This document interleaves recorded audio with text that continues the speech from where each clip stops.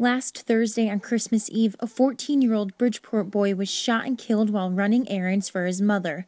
Luis Colon is now being remembered by this memorial outside a barbershop on the corner of Lee and State Streets.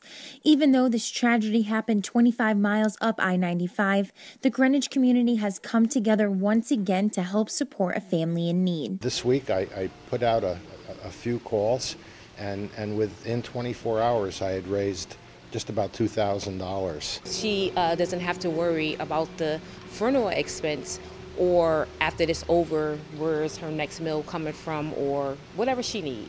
April Barron heard about this terrible loss and contacted the Needs Clearinghouse. She worked with the organization in the past and knew it could help Colon's mother. I also lost my son to um, a shooting in Norwalk, Connecticut, so I can relate on what she's going through. Joe Calico of the Needs Clearinghouse says Colon's mother, Sol Marie Rivera, came to Bridgeport from Puerto Rico about a year and a half ago and had been living in a shelter for most of that time. Rivera works as an aide in Greenwich, and it was just recently that she saved up enough money to move into an apartment with her three sons.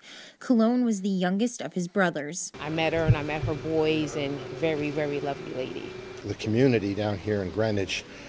Generous as usual, uh, very, very uh, understanding and, and uh, uh, really sad for this tragedy. Calico says Greenwich residents have helped raise $2,500 so far.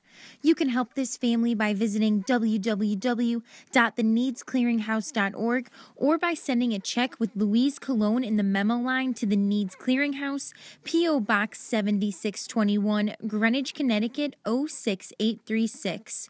Reporting for the Greenwich Sentinel, I'm Taylor Knight.